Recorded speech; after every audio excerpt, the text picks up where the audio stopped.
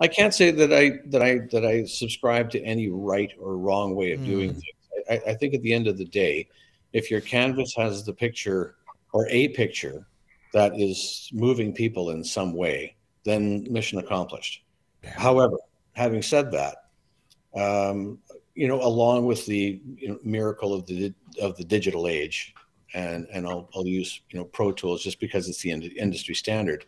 There there really is, and, and without a doubt, I mean, it's we're not guessing here. There really is a feeling that most people can just walk in and I'm, I'm, you know what? If I give you seventy percent, or if I give you hundred percent, like I, you know, I, you know it, we'll, we'll just you can just fix it. Yeah. And and uh, I, I I think that one should always go for the you you don't have to fix it. I think you know not having to fix it, I think is is a great way to go.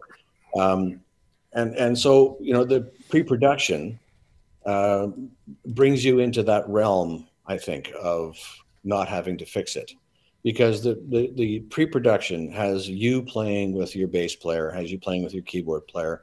It's the it's and, and the guitar player. It's the smiles. It's the Mhm. it's the interaction between people that creates the moment.